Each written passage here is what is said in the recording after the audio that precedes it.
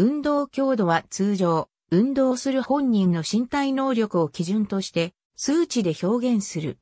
有酸素運動の強度はその人の最大酸素摂取量あるいは最大心拍数を筋力、筋持久力トレーニングでは最大健常重量を基準とする。また、その人がどの程度きついと感じるかを尺度とする自覚的運動強度という方法がある。有酸素運動の一つ、ウォーキング酸素摂取量による表現方法と心拍数による表現方法がある。酸素摂取量による方法単位時間あたり、体重 1kg あたりの酸素摂取量で表現できる。酸素摂取量そのものについては、安静時における酸素摂取量3.51メットとし、これの2倍を2滅、3倍を3滅と表すことが多い。従来から用いられてきた方法は、運動時の酸素摂取量とその人の最大酸素摂取量の比による表現である。運動強度イコール酸素摂取量最大酸素摂取量。目標酸素摂取量イコール運動強度最大酸素摂取量。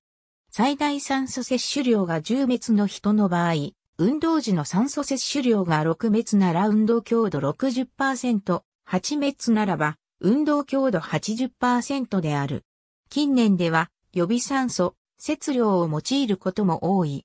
この方法では運動強度イコール目標酸素摂取量イコール運動強度、安静時酸素摂取量。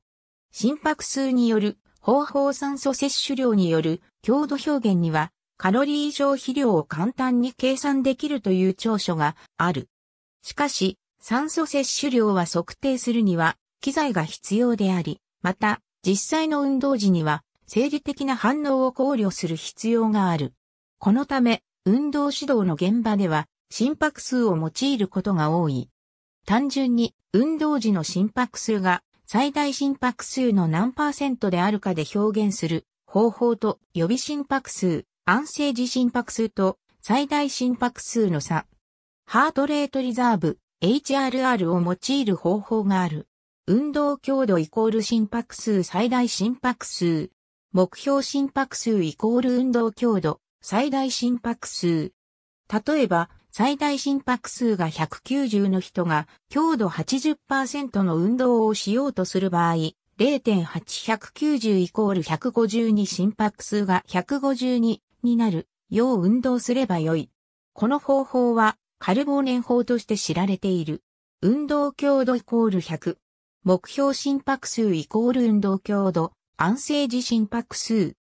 例えば、安静時の心拍数が60、最大心拍数190の人が強度50%の運動をしたい場合、0.5プラス60イコール125心拍数が125になるよう運動すればよい。なお、いずれの方法においても、その人の最大心拍数を知る必要があるが、最大心拍数の測定は簡単ではないため、通常は年齢から推測する。推測される最大心拍数イコール220年齢。年齢30歳の場合、推測される最大心拍数は220から30イコール190である。自覚的運動強度は運動中の人がどの程度きついと感じているかを数値で表すものである。防具スケールが用いられる。一般には、カルボーネン法の50%から70%で、有酸素運動としての運動効果が得られる。70%以上で、無酸素運動としての運動効果が得られる。また、身体活動量の少ない人、心肺機能が低下している人では、40%から49%で、心肺機能の改善が見られる。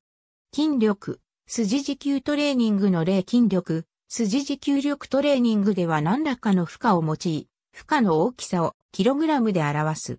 1回のみ行える負荷を最大居上重量あるいは 1RM と呼ぶ。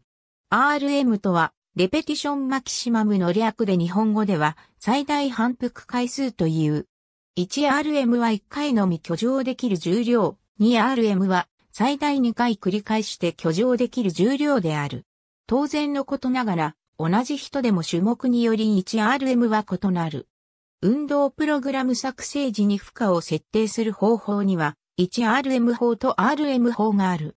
1RM 法は 1RM の何パーセントの負荷を用いるかを考える方法であり、RM 法は最大反復回数を考える方法である。負荷の 1RM に対する割合と最大反復回数の関係は経験的に明らかになっている。筋力、筋持久力トレーニングの運動効果は強度により異なる。高負荷症回数のトレーニングでは筋力が低負荷高い数では筋持久力が発達する。筋肥大には8から 10RM が効果があると言われる。ありがとうございます。